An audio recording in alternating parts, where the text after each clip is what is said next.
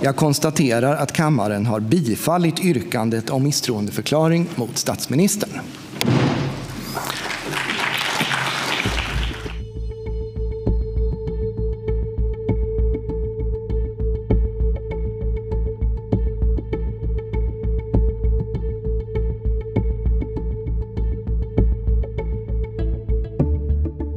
Någon måste stå upp för Sveriges hyresgäster.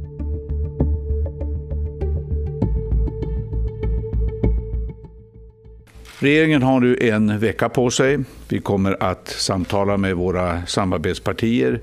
Vi kommer i olika konstellationer naturligtvis att begrunda nu vilken väg vi ska ta.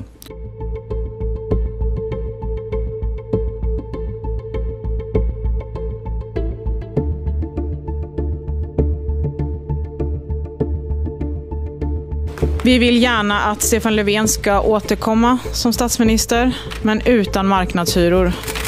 Så vi sträcker nu ut en hand till Stefan Löfven.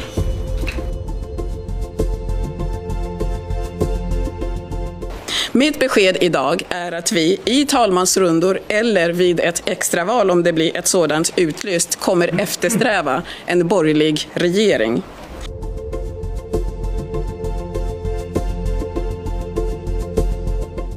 För Centerpartiets del så är vi fortsatt beredda att vara konstruktiva. Eh, vi röstade ju gult idag, det vill säga vi vill fortsätta samarbetet inom januariavtalet. Vi tycker att det har varit bra för Sverige.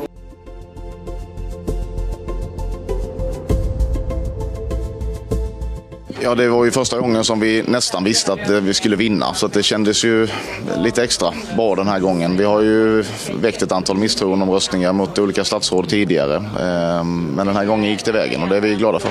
Nej, men jag tycker att Sverige behöver en bra regering så fort som möjligt och vi är beredda att bilda den regeringen. Men vill Socialdemokraterna ha nyval, då blir det nyval.